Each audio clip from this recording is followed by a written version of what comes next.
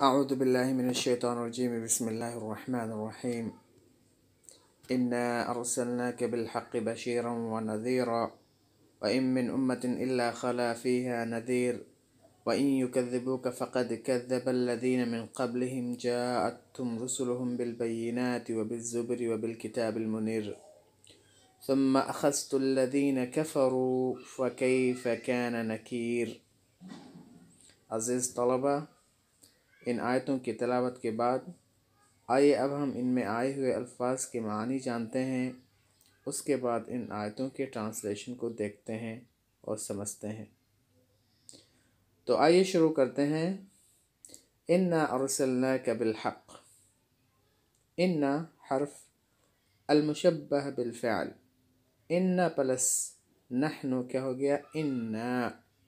यकीनन हमने अरसल्ला क्या अरसला के माने होते हैं भेजना अरसला युरसिलु इरसाल के माने भेजना अरसलना ये फिर माजी है और जम मुतकलम का सेक़ा है इन अरसलना का यकीनन हमने आपको भेजा है का की ज़मीर जो है आप वसल्लम की तरफ़ लौट रही है यानी या रसूल इन अरसलना का ए नबी हमने आपको यकीनन भेजा है। बिलहक़, यानी बिलक़ुरान और बिलशराया और बिलइस्लाम हम इन्ना अरसलना का बिलहक़, यकीनन हमने आपको भेजा है हक़ के साथ। बशीर व नज़ीरा, खुशखबरी देने वाले के तौर पे और एक डराने वाले के तौर पे। तो यहाँ पर जो बशीर है, उसके माने होते हैं खुशखबरी देना। यानी मुबशरम बिलजन्ना और बेनाम नियामतों का और जन्नत की खुशखबरी देने वाले के तौर पर व नज़ीरन और और डराने वाले के तौर पर। नदीर के माने होते हैं डराने वाला। इसकी जो जम है वो है नुदुर। नाम। तो यहाँ पर इसका माना हुआ इन नावसल्ला के बिलहक़ बशीर व नदीरा। यकीनन हमने आपको हक़ के साथ एक डराने वाले के तौर पे और एक एक खुशखबरी देने वाले के तौर पे भेजा है। नाम। व इम उम्मा इन हरफ नफ़ी मिन उम्मा उम्मतुन माने कौम या जमात ओके इल्ला खला खला यखलू खलूवन व खलवतन के माने होते हैं खाली होना मवा के माने में फ़ीहा यानी फ़िल उम्मा नदीर यानी डराने वाला, यानी रसूल नदीर एक डराने वाला रसूल। व इमिन उम्मतिन इल्ला खला फ़ीहा नदीर और कोई कौम ऐसी नहीं है जो बीत गई हो, जो गुज़र गई हो, इल्ला ये कि उसमें एक डराने वाला शख्स था, यानी हर एक कौम में, हर एक उम्मत में, हर एक हर एक जमात में अल्लाह रब्बुल आलमीन ने अपना एक एक रसूल भेजा, अपना एक एक पैगंबर भेजा जो उन लोगों को अल्लाह रब्बुल आलमीन के सीधे रास्ते की तरफ़ दावत देता था। तो आइए इस पूरी आयत के ट्रांसलेशन को कर लेते हैं। इन अरसल्ला का बिलहक़ बशीर व नज़ीरा। यकीनन हमने आपको भेजा है हक के साथ। डराने वाले के तौर पर अल्लाह रब्बुल आलमीन के आदाब से और ख़ुशखबरी देने वाले के तौर पर जो अल्लाह रब्बुल आलमीन की इबादत करते हैं, उन लोगों को किस चीज़ की जन्नत की? अल्लाह रब्बुल आलमीन की नेमतों की वह व इमिन उम्मतिन इल्ला खला फ़ीहा नदीर। और कोई भी उम्मत नहीं बीती, नहीं गई, नहीं ख़त्म हुई इल्ला ये कि उसमें एक डराने वाला आया। अल्लाह रब्बुल आलमीन का इरशाद है सूरतुल गाफिर में व वलिकुल और हर एक कौम के लिए एक हादी था, एक रहनुमा था, एक रसूल था, एक पैगंबर था। तो हमें इस आयत से ये मालूम हुआ कि आप वसल्लम को अल्लाह रब्बुल ने हक़ के साथ, दिन इस्लाम के साथ, शरीयत के साथ लोगों के पास भेजा था उनकी रहनुमाई के लिए। और ऐसे ही अल्लाह रब्बुल आलमीन ने बीते हुए कौमों में भी अपने पैगंबरों को भेजा, जो उनकी असलाह के लिए, उनको सीधे रास्ते पे लाने के लिए काम काम करते रहे। तो आइए आगे चलते हैं और आगे, आयत की ट्रांसलेशन को देखते हैं।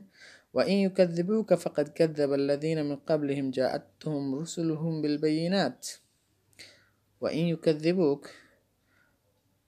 अगर वह लोग आपको झुठला रहे हैं, इन अशर्तिया युकज़िबू ये फ़ैल शर्त है और काफ ये मफ़ूल भी है व इन का अगर वह लोग आपको छुटला रहे हैं आपको छुटलाते हैं ए मोहम्मद सल्लल्लाहु अलैहि वसल्लम फ़कत कदबल्लिन मिन कबलहम तो यकीनन इनसे पहले लोगों ने भी उन उन रसूलों को छुटलाया उन पैगंबरों को झुटलाया,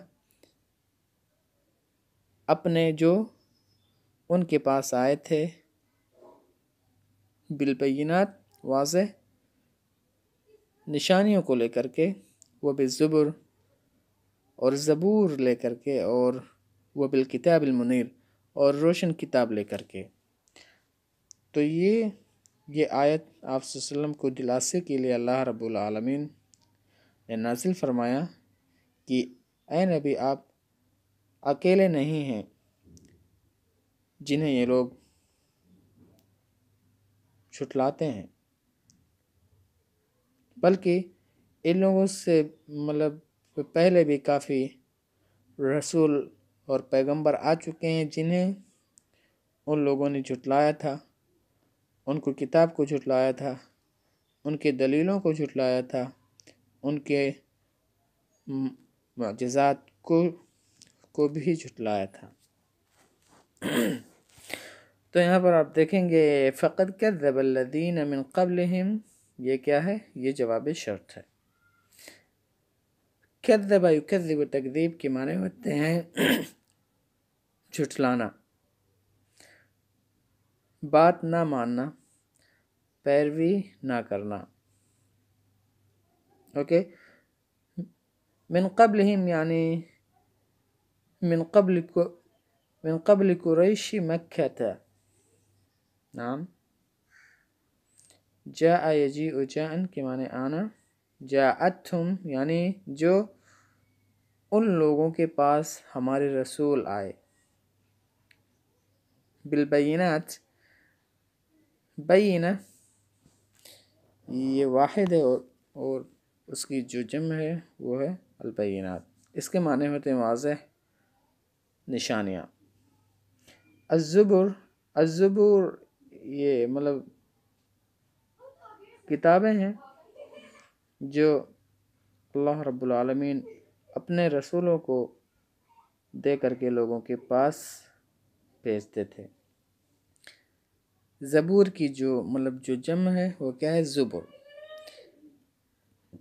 हज़रत दाऊद अलैहिस्सलाम को अल्लाह रब्बुल आलमीन ने जो किताब दी थी, उस किताब का नाम था ज़बूर।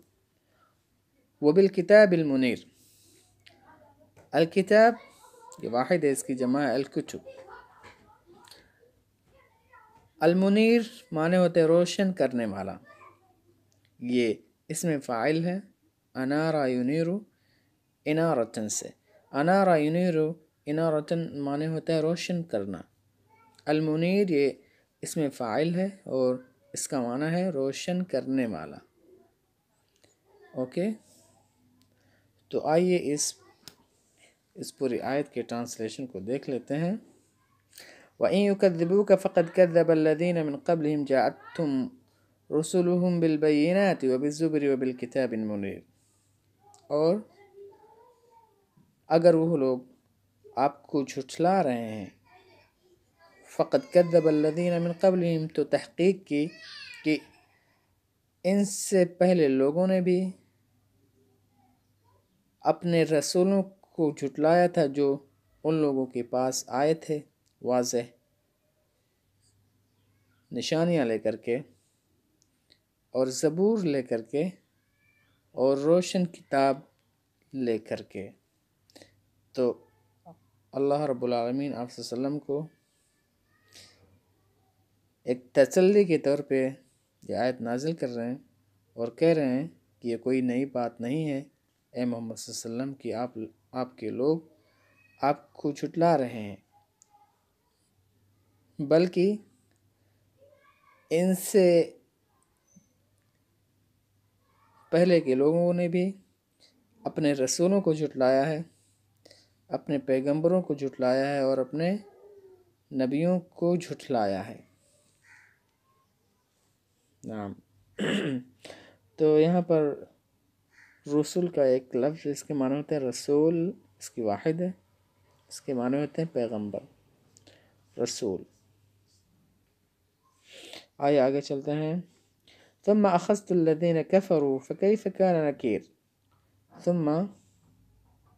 यह हरफ आतफ है जो कि ताक़ीब व तराख़ी के लिए आता है इसके माने होते हैं फिर अखस्तुल्लदीन कफ़रू अखज़ यख़ुज़ अखज़न के माने होते हैं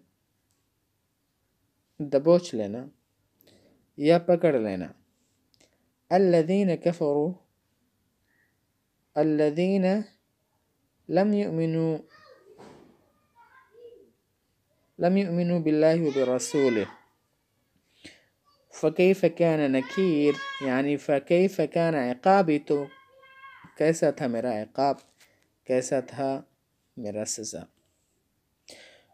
सुम्मा अखस्तुल्लदीन कफ़रु फिर हमने दबोच लिया सुम्मा अखस्तुल्लदीन कफ़रु फिर मैंने दबोच लिया ये अल्लाह रब्बुल आलमीन कह रहा है सुम्मा अखस्तुल्लदीन कफ़रु फिर मैंने दबोच लिया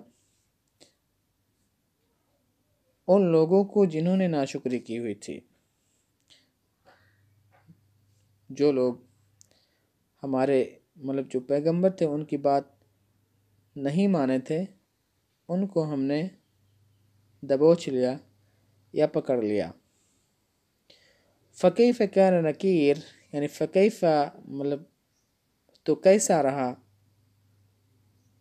नकीर, यानी ये आप देख रहे हैं रा पर कसरा है? तो इसका माना यह है कि रा के बाद या था या अलमतकलम वो महजूफ़ है, इसीलिए या की जो हरकत थी, वो इधर आ गई तो उस पर क्या हो गया? डबल कसरा हो गया। फ़की फ़ैन नकीरी तो कैसा था मेरा अजाब हाँ तो आइए इस पूरी आयत के ट्रांसलेशन को देख लेते हैं इन अरसल्ला का बिलहक़ बशीर व नदीरा यकीनन हमने आप को भेजा है हक के साथ खुशखबरी देने वाले के तौर पर और डराने वाले के तौर पर व इमिन उम्मतिन इल्ला खलाफ़ी नदीर और कोई उम्मत नहीं बीती, इल्ला ये कि उसमें एक एक डराने वाला था। उसमें एक रसूल आया। उसमें एक नबी आया। वलिकुल कौमिन हाथ। कदबू का फ़क़द कदबल्लिन कबल जात तुम रसुल बिलबैनात बिलज़ुबरी बिलकिताबिनमनर और वो लोग अगर आपको छुटला रहे हैं फ़कत कद्दबल्लिन कबलम तो इनसे पहले लोगों ने भी अपने पैगंबरों को झुटलाया है जो उन लोगों के पास आए थे वाज निशानियाँ लेकर के, ज़बूर लेकर के और रोशन किताब को लेकर के।